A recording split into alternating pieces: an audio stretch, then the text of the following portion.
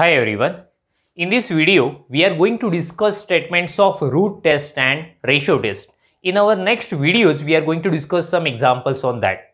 Let us discuss first ratio test. So when you have any series summation n, okay, and if you find the limit of mod n plus 1 upon n and we got its value is L.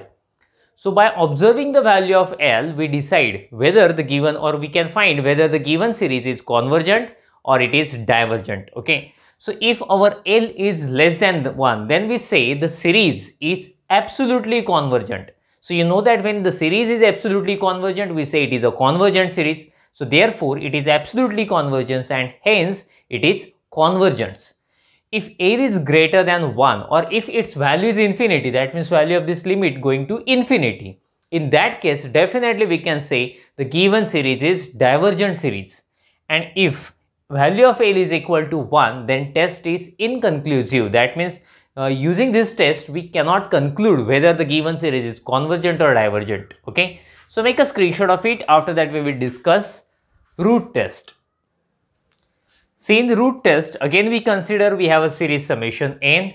So the, there is root test, that means definitely we need to find the nth root here. So what we do, we find the limit of nth root of mod n. We have applied mod, so that's why definitely we will have non-negative value and we are taking its nth root and value of this limit is L.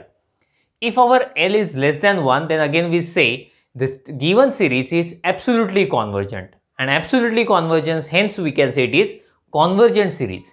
If L is greater than 1 or it is its value is infinity that means value of this limit is moving towards infinity. In that case we say the given series is divergent and again if the value of L is 1 in previous case also we had discussed all these cases so if L value of L is 1 then we say the test is inconclusive that means Using this test, we cannot decide whether the given series is convergent or divergent. Okay. So make a screenshot of it, then we will stop. Thank you. Bye bye.